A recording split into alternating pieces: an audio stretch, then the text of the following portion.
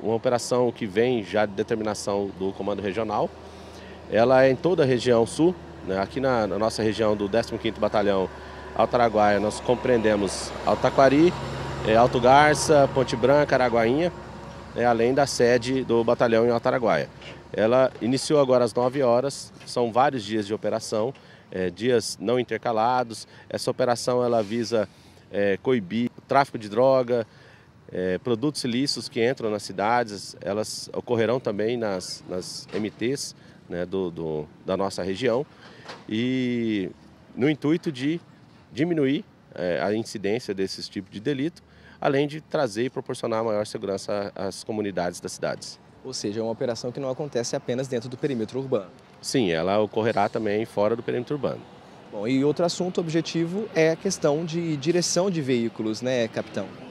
Sim, nós estamos é, fazendo a fiscalização completa, além dos delitos, né, materiais ilícitos que podem ser encontrados durante buscas, é, também a, a checagem de, da, das pessoas que estão com, é, em débito com a justiça, né, através dos mandados de, de prisões, e também é, infrações de trânsito que possam vir, advir né, da, da condução de veículo é, de forma irregular.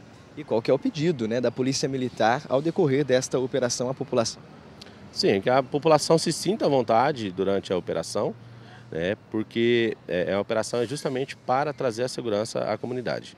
Bom, ou seja, né, a população aqui do nosso município ficar atento aos pontos onde vai estar acontecendo. Hoje estão aqui na frente da praça, mas não é apenas nesse ponto aqui do nosso município? Sim, é, ocorrerá em vários pontos né, durante o dia de operação, é, justamente para que todas as, as pessoas possam né, é, estar ali sentindo né, a, a presença da Polícia Militar durante o policiamento.